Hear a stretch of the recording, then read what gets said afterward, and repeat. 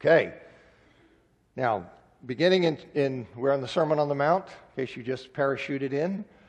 And beginning in chapter 5, verse 21, Jesus, he sets out some particulars of this higher righteousness to which disciples, kingdom participants are called. You know, in 520 he says, unless your righteousness exceeds that of the scribes and Pharisees, you'll not enter the kingdom of heaven. And then he goes into and gives us some particulars of this higher righteousness. He deals with the sin of anger in chapter 5, verses 21 to 26, and lusting, the sin of lusting in 527 to 30. And then in 531 to 32, he addresses the sin of divorce. And he says that divorce is permissible only for sexual immorality, and he gives certain restrictions on remarriage following a divorce. And he makes it clear that for Christians, marriage is to be something that is permanent. And we looked at that last week, and we also looked at in 533 to 37. He explains that the, the Old Testament's requirement for keeping one's oath, which requirement that points to the fundamental importance of truthfulness, well, he says that that requirement is fulfilled in speech that is so consistently truthful that there's no room for an oath. There's no place for an oath. Since every word is to be honest and binding, there's no place for offering sworn speech as distinctively trustworthy because all of your speech is trustworthy.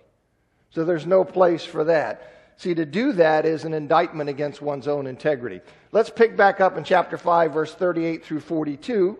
He says, You've heard that it was said, an eye for an eye and a tooth for a tooth. But I say to you, do not resist the one who is evil.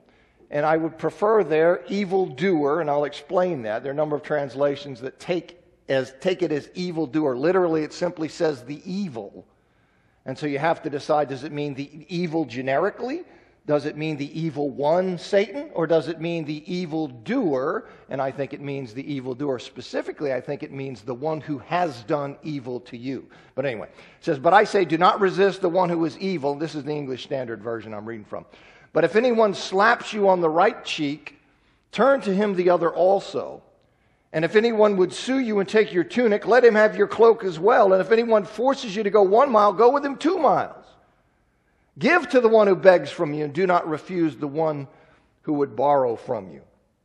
Now, this prescription, an eye for an eye and a tooth for a tooth, this occurs in several Old Testament texts. You see it in Exodus 21 24, Leviticus 24 19 and 20, Deuteronomy 19 21. And it was a principle that's commonly known by the Latin phrase lex talionis, the law of retaliation. And it was a principle that governed Jewish courts in the administration of justice. And it meant that the penalty for an offense was to be commensurate with the crime. The penalty was to fit the crime. It was to be neither unduly harsh nor unjustly lenient. It was to be right in, right in the sweet spot. Now, it seems that in the first century, this principle had been distorted. It had been distorted into a justification for personal acts of revenge or retaliation. In other words, people were using that idea of an eye for an eye and a tooth for a tooth as a license for retribution. They were using it as divine permission to exact a pound of flesh from those who had wronged them. Now, this is obviously a misapplication of the text. And we can know that because Leviticus 19:18 expressly prohibits taking revenge. But this may have been a popular view, a popular interpretation, rather than a rabbinic interpretation, rather than one that the rabbis used. Even today, right, our culture, you sometimes hear people cite an eye for an eye as justification for personal revenge, right? Something does something, well, eye for an eye, now I'm going to come back on you. And so you, you can see how that would work among, you know, just among the, the populace. Now, contrary to this warped notion that the lex talionis justified personal revenge or retaliation for offenses, Jesus, Jesus insists that his disciples, kingdom participants, not antistani. That's the word he uses, that they not antistani the evildoer. That's what he insists on his disciples not do. And I think the common translation, do not resist, I think in this context it is imprecise and it's prone to misunderstanding. After all, we are called specifically to resist the devil. James chapter 4 verse 7 and 1 Peter chapter 5 verse 9, same word. We're called to resist the devil. And Paul resisted, same word, Peter's error in Galatians chapter 2 11. You remember when Peter was there and doing wrong and, and trying to mislead? And Paul opposed him to his face, he resisted him there. I think here it's better translated something like, do not take a hostile stance against. You see, this idea of standing, uh, this, it's here in the word. This word is often used in the Old Testament in military contexts. This idea of drawing up battle lines. And I think that's how it ought to be done. Do not draw up arms against. The Christian Standard Bible in a footnote says, set yourself against. And it's do not, uh, do not take a hostile stance against an evildoer, as I said before. That's the way it's translated in the New English translation, the New, the, the New Revised Standard, the Christian Standard Bible. I think that gets to the right idea. Don't, don't take a hostile stance against an evildoer, meaning one who has done evil to you. You see, I think that's what he's getting at here. In other words, they're not to allow, we as disciples are not to allow our mistreatment by others to create battle lines and an intention to seek revenge or retaliation from the wrongdoer who is now considered by us an enemy. See, he's wronged us, and we say, okay, now you are my enemy, and now I want you. I want to retaliate against you. I want paybacks against you. And see, that's why I like the idea of saying, do, do not, you know, don't take a hostile stance against. I think that's the idea here. See, they're not to go to war against one who has wronged them. And that's what I think he's talking about. See, that do not resist, that, that it involves or includes not retaliating for wrongs.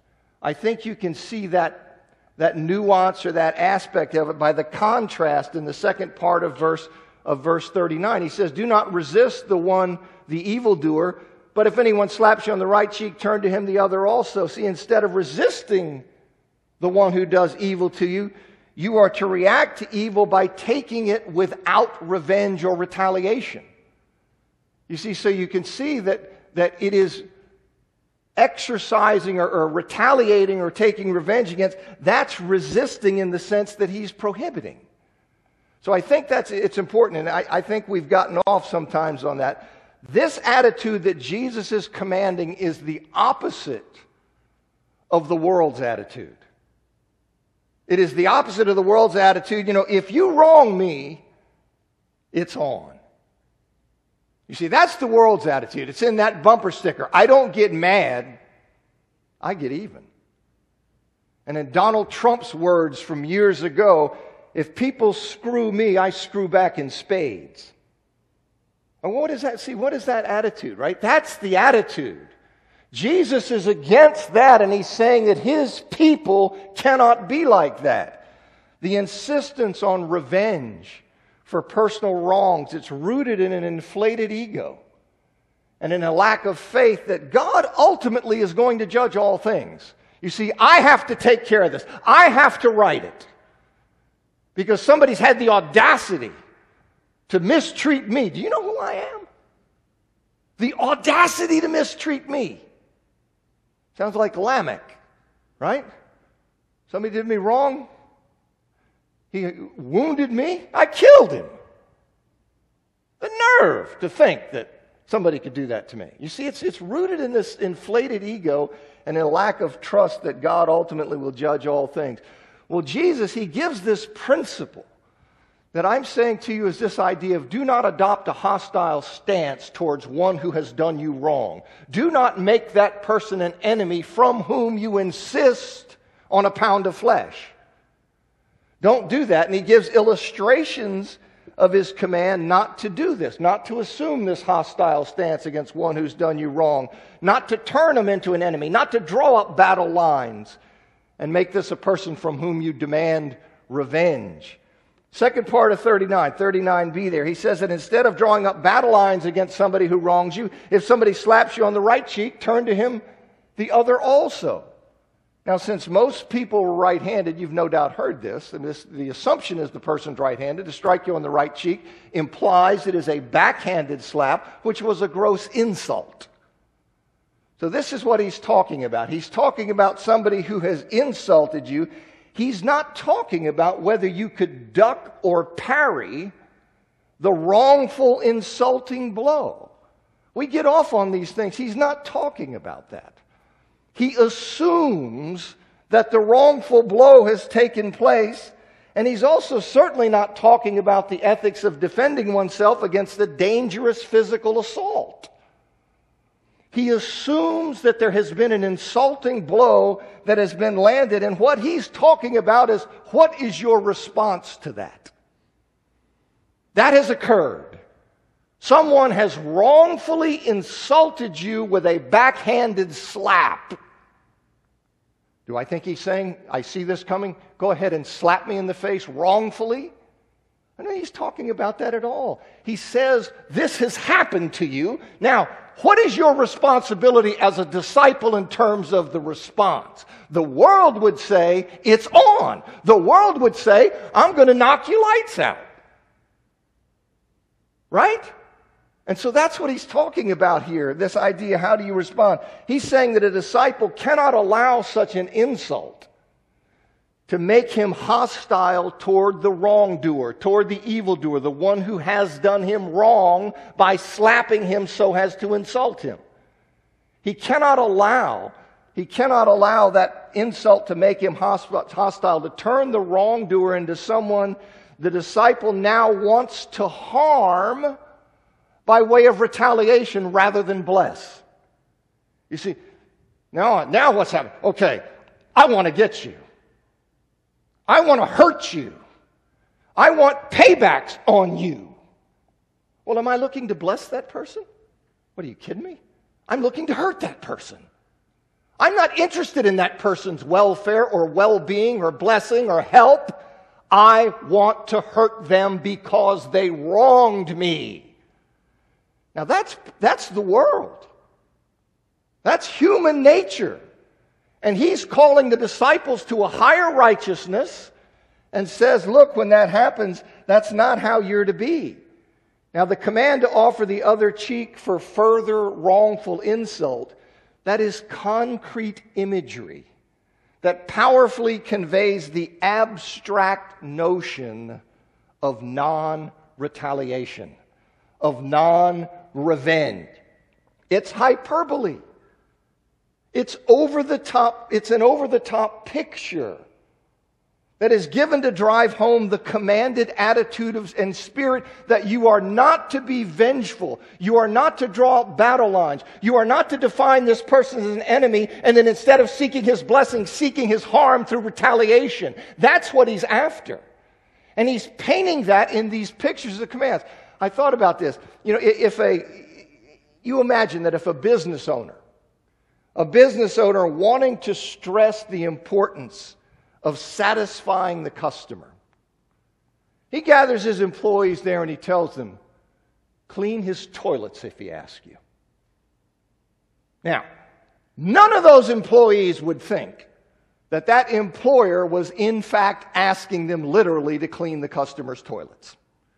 They would all understand that he had said that that he had used this hyperbolic, colorful type of language to emphasize the importance of focusing on customer satisfaction. That's how he's using it, and I think that's what Jesus is doing. His command deals with a non retaliatory spirit non revenge when we're wrong, and then he gives these colorful, powerful images to reinforce that. That's what I think is happening here now. Thomas Schreiner, New Testament scholar, he's one of those who recognize, recognizes that Jesus is here using hyperbole. We saw him use hyperbole, right, in the idea of plucking your, plucking your eye out and cutting your hand off. He does employ this, and you're going to see it in the case where he says, uh, you know, if the guy, the guy sues you for your tunic, give him your cloak as well. Well, I'll show you in a, in a, in a second. That's clearly they would see that as hyperbolic. But here's what uh, Schreiner says. Believers are not to return insults with insults. Jesus gives colorful and hyperbolic examples to illustrate his teaching. He does not literally mean that one should hand another his cloak if sued, nor were believers required to volunteer to go the extra mile when Roman soldiers commandeered them to go one mile. Jesus' point was that one should not have a heart of revenge and retaliation when mistreated or abused. Now, just stop on that. Now, does that not hit home? As I tell you, the Christian faith, this stuff digs deep. This isn't super superficial junk. Christianity digs into who you are and transforms you. At this level, he goes on and he says, After all, one could literally volunteer to go an extra mile and give everything one owns to a beggar and still have a heart filled with hatred and revenge. Davies and Allison, and their their three volume commentary on the Greek text of Matthew. says the import of the following sentences is lost if one attempts to take them literally. Jesus often resorted to extreme exaggeration in order to drive home his points and to get his hearers to ask questions and see their world from a new perspective. The command to turn the other cheek cannot be understood prosaically, matter of factly. Rather, is Jesus calling for an unselfish temperament for naked humility and a, and a, will to suffer the loss of one's personal rights. He's declaring that two wrongs do not make a right, that revenge is poison. And I think that's, that's the point. I think that's what Jesus is saying. That's what he's driving at. And he's, he's giving these concrete examples, not to say, okay, it's hyperbole, then we can just blow it off. No, it drives home the point. That's what I'm saying in the example where the owner says to his employees, clean his toilets if he asks you. Well, he's not saying that for no reason. He's saying it's that important. You see, it's an emphasis. And I think it's just a mistake to go off and then say, well, is he literally saying just clean his toilets? No, we would understand what he was doing. And I think that's what Jesus is doing. Verse 40, Jesus repeats the point. He says, If anyone would sue you and take your tunic, let him have your cloak as well. Their garments, how they, they had a loin cloth. Typically, that would be something like our underwear. And then they had a tunic, which was the basic garment. And it would, could either be long sleeved or half sleeved. And it was this body length inner robe, something like a nightshirt. It was like a nightshirt that went down that was, that was worn in some form by everyone. And then the cloak was the outer garment, the outer robe that protected one from the cold. It was used for carrying objects, grain, and that kind of thing. It was used to sleep on. And it was that cloak that was expressly protected. Let me get back to verse 40. It was that cloak that was expressly protected from confiscation. You remember in Exodus chapter uh, 22, verses 25 to 27, the cloak that's taken in pledge, it has to be returned by sunset. That was the outer garment that was protected. And so the call to, to willingly give up the cloak to which one has a clear right, that one has a clear right to keep, the call to give that up that's a powerful way of making the point that even this kind of personal indignity, being sued for the very clothes on your back, that that is to be borne by disciples without hostility, without retaliation, or a spirit of revenge. See, no first century Jew would think Jesus was saying this literally. Because for a poor first century Jew, who had only one tunic and one cloak, if you applied this literally, he would then be in his underwear, and that would just be understood as socially unacceptable. You see, they would understand what he was doing. They, they would know that this was something that he was just using to emphasize the point. So, and this, by the way, the fact you can see that so clearly in this situation that it would just be socially unacceptable for a first century Jew to run around in his underwear, then you can see, okay, I see. That reinforces the idea that these other things are likewise hyperbolic. You see, that he's making the point like clean his toilets if he asked you. That's how I think these things are functioning. Now, Jesus, he repeats the point in verse 41. He says, If anyone forces you to go one mile, Go with him two miles. And of course, the verb forces you to go. That's a, a specific term for this Roman soldier's practice of commandeering somebody. They had the right to commandeer Jews to have them carry burdens.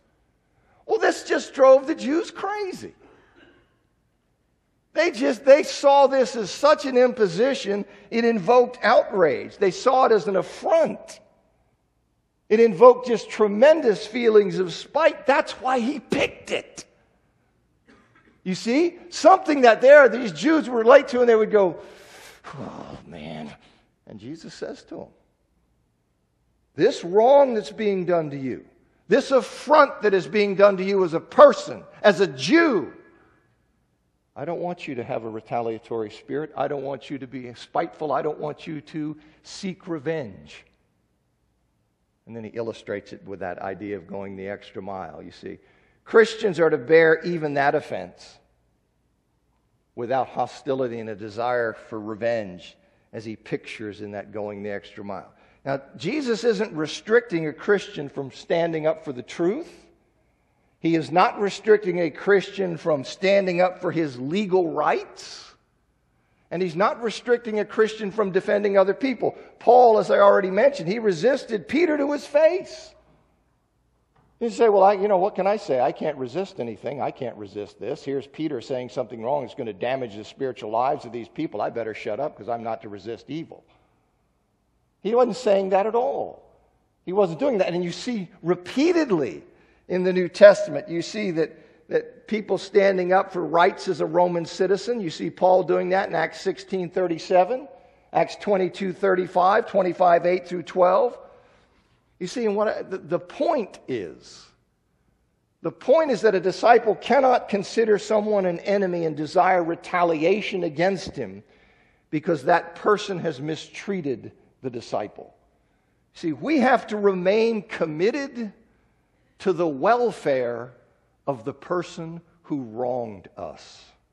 We have to, we have to remain committed to their good, committed to their blessing, committed to good things for them that we want in their lives despite the fact that they have wronged us. Now that's radical. You see, that is radical. But that's what we're called to as disciples.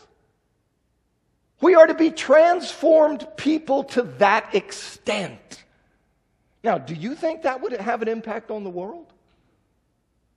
Do you think people like that would have an imp- impact on the world? Now, having given these illustrations, Jesus, he gives the principle, and then he gives these concrete pictures that, you know, draw out this abstract notion of non retaliation. And then having done that, he then, he, he then applies the requirement of a non retaliatory spirit to the disciples giving to the needy. Okay, this is what I think is going on in this context. Now, you can think that Jesus, who is here talking about not retaliating for wrongs, and then he's going to go into right into this, flowing right into this about loving your enemies you can think that he just randomly inserted something about generally giving to people. I don't think that's what's happening. I think he is applying the principle of, of a non retaliatory spirit to giving to the needy. And by the way, in that culture, it would be assumed that the needs of those begging and those seeking loans, that those needs were, were legitimate and probably desperate. In fact, there were Jews, they considered it so shameful to beg that they preferred death to begging. That's not like our society. Okay? So the, the assumption would be that these things, that these needs, that, that those begging were, and seeking loans that these needs were legitimate. They were probably desperate. You see, Jesus isn't addressing the case of the slothful, the lazy, the irresponsible. That's not in view of what he's talking about. Let me read to you a quote from uh, D. Martyn Lloyd-Jones from his book on the uh, studies in the Sermon on the Mount. He says, Our Lord does not encourage us here to help frauds or professional beggars or drunkards. This comes up, right? I mean, anytime you're approached by this, you know, this comes up to you and you say, Well, am I really supposed to be doing this? Is that what he's telling me to do? But he says here, I, I put it like this plainly because we all have these experiences. A man comes to you under the influence of drink and asks you to give him some money. Although he says he wants it for a night's lodging, you know he'll go immediately and spend it upon drink. Our Lord does not tell us does not tell us to encourage or help such a man. He's not even considering that. That's what I'm saying to you. We are reading that into that. In that culture, the assumption is going to be that the people who are asking, are begging, and who are asking that their need is legitimate, it's probably desperate. And the point in the context, okay, the point in the context, unless you want to be with those people who say, well, no, I think that Matthew has taken an isolated statement that wasn't in this context and he's just stuck it in here. I don't think that's right. I think the context dictates what's going on here, and the point in context seems to be that aid to a poor person must not be withheld because of some personal resentment or animosity based on some prior mistreatment. In other words, when he sits here and he, and he, says about giving, give to the one who has wronged you. That's the one he's talking about. You see, he's taking the idea of non or non retaliatory spirit and he's applying it in the context of if this person who has wronged you, if the tables get turned and now you are in a position where he needs you, can you manifest a vengeful spirit in the passive aggressive sense of denying him? Kicking him when he's down because he had wronged you, now you're up. He did this to you, and oh, you know, what a blessing. My enemy is now in my hand. He's here asking me for something. What is the Spirit? The Spirit is to be, I will not allow a spirit of revenge or retaliation for those wrongs to cause me to try to harm this person by refusing to give to this person. That's the spirit that we're to have as Christians, you see. We can't kick somebody when they're down. As Paul said in Romans chapter 12, verse 20, referring to Proverbs 25, 21 to 22, but if your enemy is hungry, if your enemy is hungry, feed him. Okay, that's what, I, that's what I think is happening here. If your enemy comes begging, what do you do? You say, well, it's too bad for you. You should have thought about that situation you know, back when you said that about me, or treated me like that, or stole my car, or did whatever it was. You should have really thought about that because now I'm in a position to, by telling you to buzz off and drop dead. Go ahead, suffer, dude. Is that Christian? See, no. And I think that's the context. I think that's, what he, that's what's being done. That's what he's saying.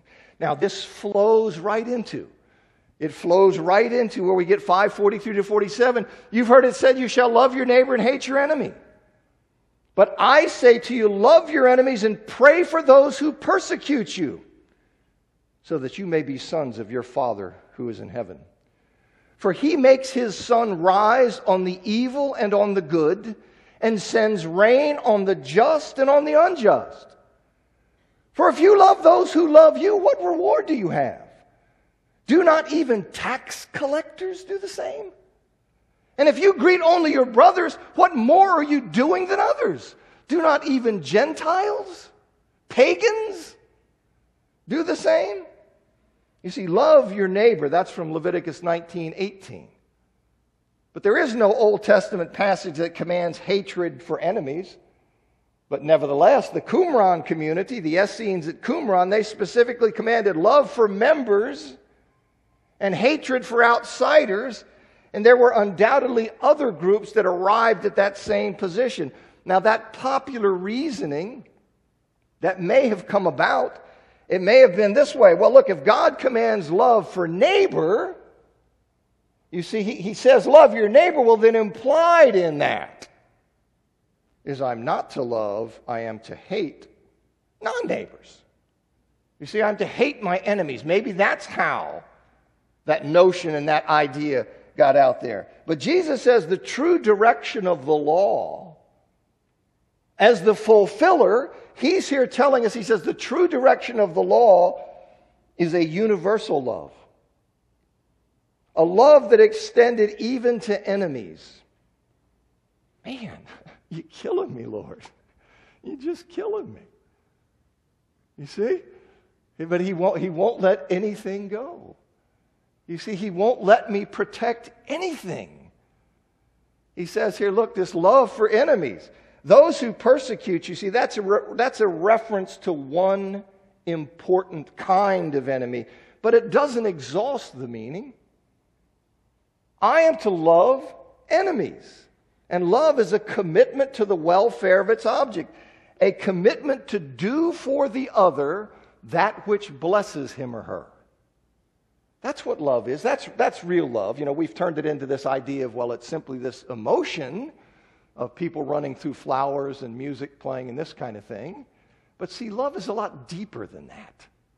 And it's this commitment. It's the way you're like, you know, you love your child. Your child break your heart.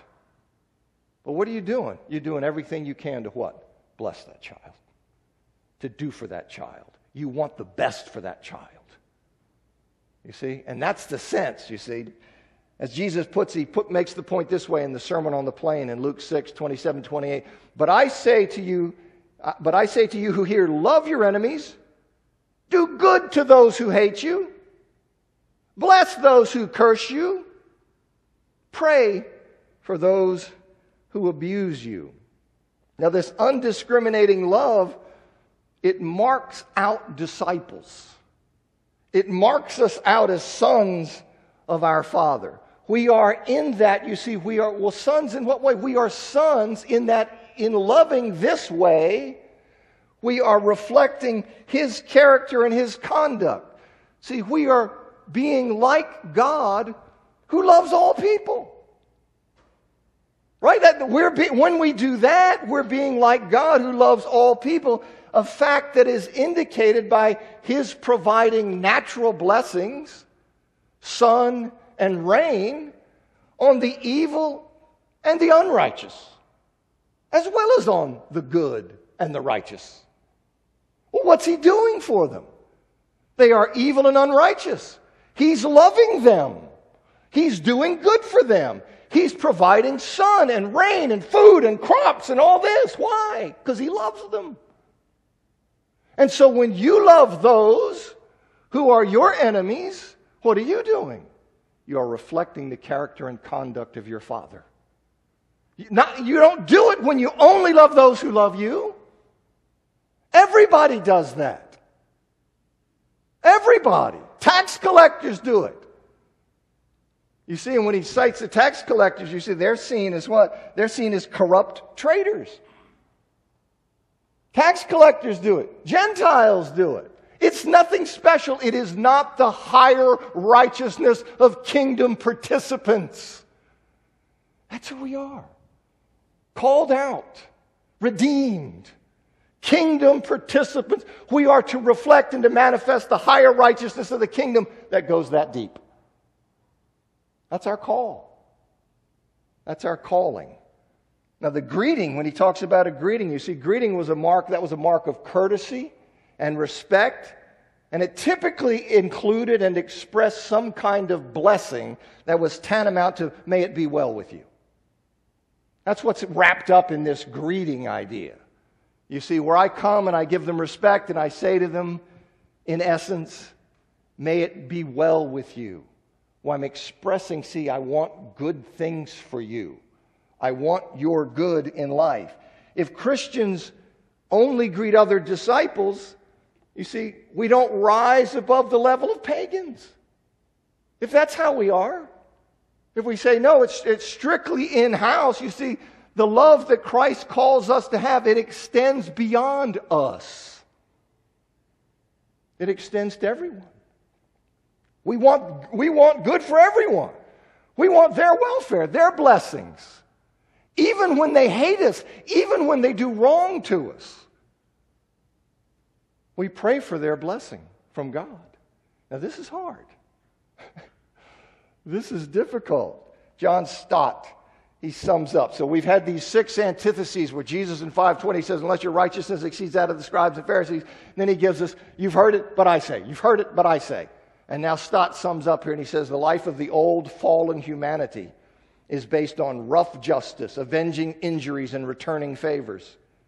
The life of the new redeemed humanity is based on divine love, refusing to take revenge, but overcoming evil with good.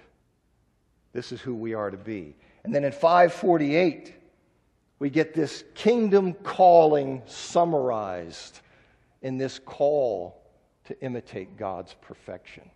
He says in 548, You therefore must be perfect as your heavenly Father is perfect.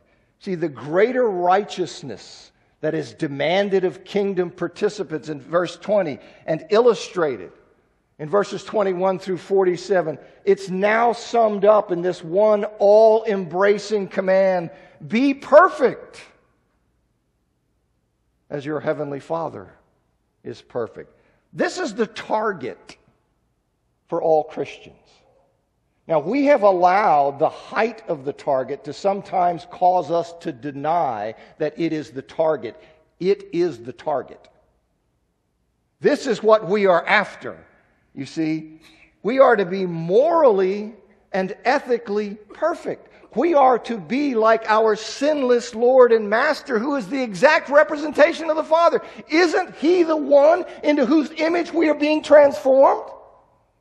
Isn't He our Master, the one we seek to imitate? Aren't we trying to grow to be just like Him? And how is He? Sinless, morally perfect, pure. That's our Master. That is what we are called to be. We are called to be that way. Now, the fact we have not yet arrived at that level of sanctification, the fact that our journey toward Christ likeness, our ongoing transformation by the Spirit into His image, is not complete, and the fact it will not be complete until He returns, that doesn't mean that it ceases to be our goal. It is our goal. And I understand that we will not reach that goal until the consummation. But that's what our eyes on. That is what we are seeking to be by the power of God's Spirit, transformed into the image of Jesus. We cannot be indifferent to or unconcerned about righteousness. We simply cannot. You know, cheetahs, well, it's just, it's just kind of a footnote. All you need to know is you're saved by grace, and you don't have to worry about living to glorify God. Don't worry about that. Ah, that's all. Too much is made of that because you're not going to do it anyway, and you're saved by grace, so forget it. I'm telling you, that's not Christianity. That's something that's popped up. A lot of things pop up. That's First Bell Hope. Okay, all right, good. All right, see, so I see, we can't be indifferent to that. See, our to being righteous, our living as God's children, because the Lord has called us to this absolute holiness, this absolute righteousness, to perfection of God. Here's what D.A. Carson says on it. He says, just as in the Old Testament, it was the distinctive mark of Israel that they were set apart for God to reflect his character. So the messianic community, kingdom participants, the church, us, he says, carries on this distinctiveness as the true locus of the people of God. This must not encourage us to conclude that Jesus teaches that unqualified perfection is already possible for his disciples. He teaches them to acknowledge spiritual bankruptcy. Verse 3, to pray, forgive us our debts, 612. But the perfection of the Father, the true eschatological goal of the law, is what all disciples of Jesus pursue. That's what we're after. You see, and when we call each other to that, You say, well, are you just, you know, what are you doing? You think you're so good? No, we're calling one another to be the people God wants us to be. That's what we're doing. It's not, oh, you're trying to guilt trip me? No, I'm trying to bless you. That's what I'm trying to do. I'm trying to help you to better imitate our Lord and Master. You shouldn't be offended by that. You should appreciate that somebody cares to do it. That's how it would be, see? That's this idea pulsing through the body. This notion of these things that we're, we're blessing one another, helping one another, calling one another. We understand that we have ways to go and we'll not reach perfection. We still make it our goal. Charles Quarles, in his book on the Sermon on the Mount, he says, The ethic of Jesus' kingdom is full perfection. Believers should strive for this ideal with the conviction that as children of God, they are heirs of his character and will resemble him. The emphatic you in verse 48 reminds believers that they have a power to pursue perfection that others lack. They should strive for this perfection, armed with the awareness that righteousness is a divine gift that God graciously imparts as his people crave it. Verse 6. They should also remember that while Christ's kingdom has been inaugurated, its consummation awaits his glorious return. Although Jesus' disciples are progressively and increasingly characterized by righteousness here and now, their transformation will not be complete until the kingdom is consummated. That's, again, why did I go through all that stuff about the kingdom, inauguration? Because that is how I understand not only the Sermon on the Mount, but so much of New Testament theology. You can't get it right if you don't see that. You see, and so this is part of what he's talking about. You and I are to be this way. This is how we are to be as children of God, as kingdom participants. We are to live at this level of change and transformation. And then in chapter 6, he talks about keeping the motives of kingdom living pure. He has said your righteousness must exceed that of the scribes and Pharisees. He's given some particulars of that. He's given us this summary thing about be perfect. Well, now he's going to talk about, you know, it's easy when you're doing this, when you're striving and all this stuff, to let these motives get tainted. You see? In light of all this, it's easy to start doing stuff for people to see you. You see, where your motivation, why am I doing this? Why? Well, I want people to see me and think I'm cool. I want them to think I'm spiritual. Oh no, oh man, if I go, oh man, he's really, he's spiritual. All right, when you start playing to people, as he's going to say in chapter 6, and I'm just afraid to start on it because I know the bell's going to ring. But, you know, he's going to lay out for us He's going to give a principle that you cannot act that way in any religious matter. You can't have that be your motivation. And if it is your motivation, you're going to get that reward. And then he will take that principle and he will apply it to the three pillars of Jewish piety to almsgiving and prayer and fasting. And he will say just the same idea. He will apply that same principle and show you can't do it this way, you can't do it this way, you can't do it this way. And he's got some more hyperbole in there for you. Okay? But he's going to go on. See, I, I, think the sermon is more coherent, and I think it's a dynamite sermon. you know, how it flows. And so that's why I think he's going. I heard the bell. Thanks for coming.